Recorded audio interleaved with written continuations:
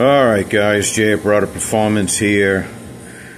I want to try to put something to rest. Um, you know, and here we go. Shops, um, they tell customers on a C6 that if you don't hook up the kickdown, it's going to burn up the transmission.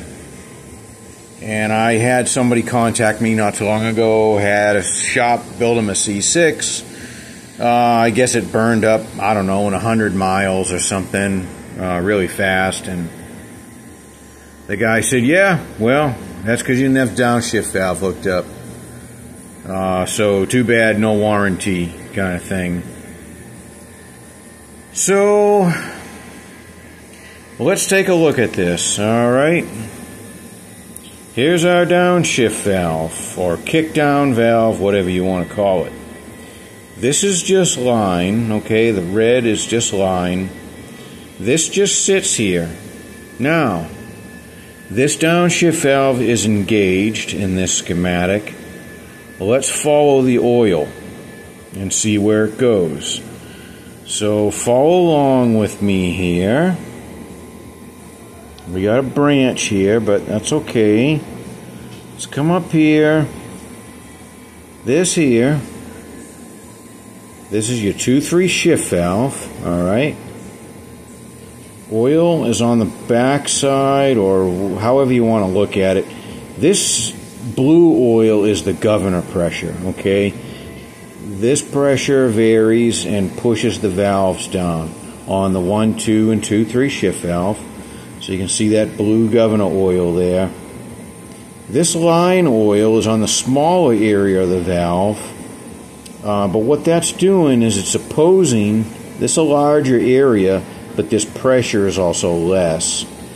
Uh, so what happens here? This downshift valve sends line pressure, full line pressure, to the opposite end of this 2-3 shift valve and tries to prevent it from shifting. It's basically going to delay the shift. So if we follow this oil, it just comes over to here. This is just a loop. Okay, it's kind of weird, but this is that branch we were at. That branch comes over, and then this opposes on this area of the 1 2 shift valve. Governor is up here and it's doing the same thing. It's opposing the governor pressure. Now, I want you to notice. Correct me if I'm wrong. Put it in the comments or make your own video. This oil, that's it. That's all it's doing. It's only going to the shift valves. It is not changing pressure. Okay, I want you to understand this. If it was going to change pressure, it would have to come over to here, um, probably on our, our boost valve. It's the only way it could change pressure. It's not changing pressure. So if you do not hook it up, it's not lowering line pressure or anything like that. Uh, so what I'm going to do here I'm going to put you on pause. I'm going to set up the stand. And I've got a C6 on the dyno. And we're going to run it. And you're going to see, uh, you won't be able to see me finagle the lever and the gauges at the same time because they're far away from each other. But um, if I put bring the camera too far away from the gauges, you won't be able to see them. But you'll just have to take my word for it and I'll tell you when I'm actuating the kickdown lever on the trans, and you're going to see the pressure stays the same. Now, one thing I got to tell you, um, this unit here, I've modified it so the cutback circuit is no longer activated.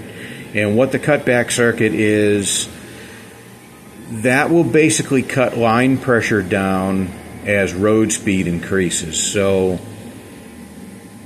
you know, what maybe where the confusion lies with this is that if you were to activate the kickdown and it downshifts, depending on what the road speed is and the vacuum level and all that, you would possibly leave that cutback, sir. Uh, you know, in a stock valve body, you know, when it would downshift as a result of the kickdown, the pressure may come back up because you've downshifted.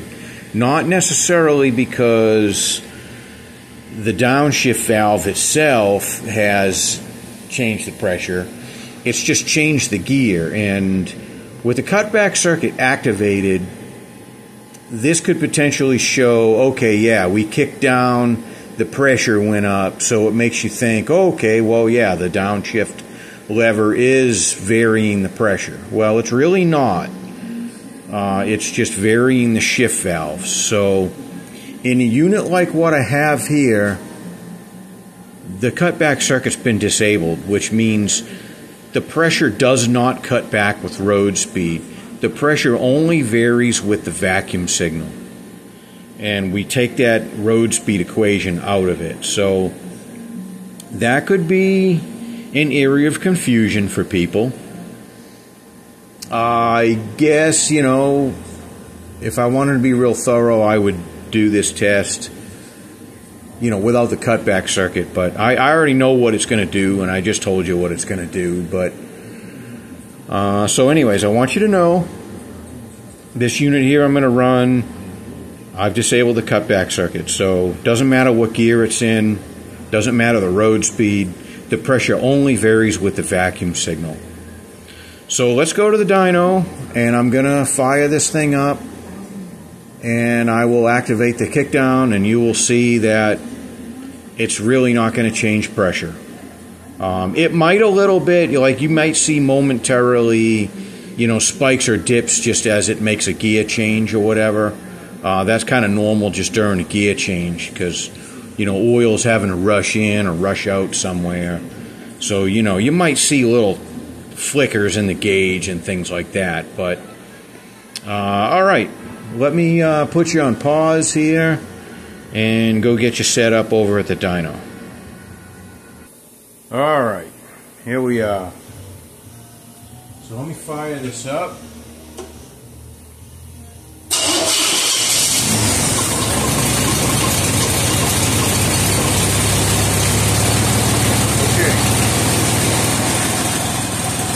In neutral. vacuum is hooked up. Don't know what the vacuum is, probably about 18 or so. So you can see the pressure is about net minimum. Uh, so just if you're wondering, I'll run this. This is uh, direct. This is this is tapped into the release side of the servo. So we'll pressure here in third gear. This is our cooler pressure. It's that cooler flow. All right, so I'm going to put it in gear, and I'm just going to make a run through the gears. All right, here we go.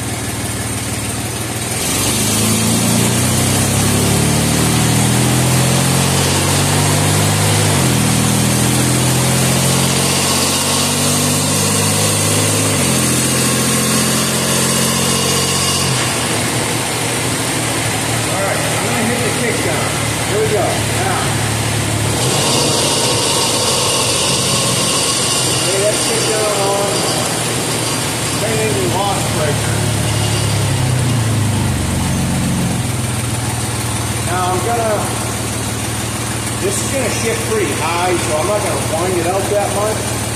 Uh, I'll put them out the way here.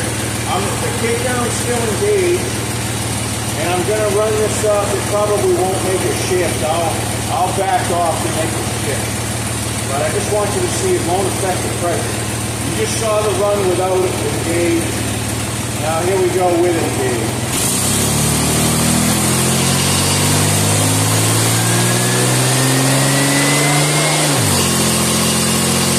Yeah, we tricked it and it just went right up into third by doing that.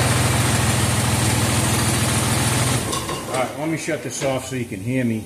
Um, So yeah, I skipped second gear because I, you know, we went into it with the kick down on, and then when I pulled all that delay away, you know, just basically backed out of throttle, it was ready to go into third. So um, it just stroked both the shift valves. Once that oil from the kick down went away, that line pressure. So uh, totally expected that. But you can see, I mean, the pressure is really no different with that kick down lever engaged. It's, it's the same. Uh, so I hope that kind of clears this up for people. Um, let me, well, we already did that, didn't we? So, because I engaged it once we got, once it did make a shift. So, yeah, I don't, I don't really think I have anything else to show you on that. It just, it just doesn't have an effect on line pressure it affects the shifting, but doesn't affect the line. And you can see it in the circuit. So, okay. I hope that helps. If you guys think I'm wrong, well, tell me why I'm wrong. But I know I'm not. But if you if you think I'm wrong, uh, let me know. You know, let let's hear something constructive uh, or let's hear a scenario maybe you want me to try. You know, no, I know it'll make a difference if you, you know, if you were to blankety blank. You, you didn't do that, so this scenario didn't create that. So, you know, whatever it is you think, but uh, in any case, I do recommend, now for the record, I do recommend you hook up that kickdown. Absolutely. But if you don't, it's not going to burn the transmission up. I want you to understand that. Has nothing to do with that. Other units, different story. C6, it won't burn it up. So I hope I made that clear. And um, all right. So let me know what you think. Right or wrong, you know, did I did I explain this? Did I prove it to you? Or do you guys still think if the customer doesn't hook the kickdown up, the kickdown up, they're going to burn the unit up? And explain to me why, because I've been doing this a long time. I've got a lot of customers that don't hook that up because of, you know, crazy carburetors and things, and they just don't want to do it. Uh, they just use the shifter to downshift rather than worrying about, you know, doing it by itself. So I can't ever say I've seen that a problem. So I don't I don't scold anybody for it. But if you wanted to auto shift at a high RPM, this is going to delay your shifts. Absolutely. Which that you did see because it didn't want to shift once that was engaged. It would have, but I'm not going to stretch this dyno out that much. It's I honestly, I try not to run this motor much over 4,000 anymore, and I know with kickdown engage, it's going to shift beyond that, so I didn't want to do it. Sorry. Uh, so anyways, um, that's all I got. Thanks for watching.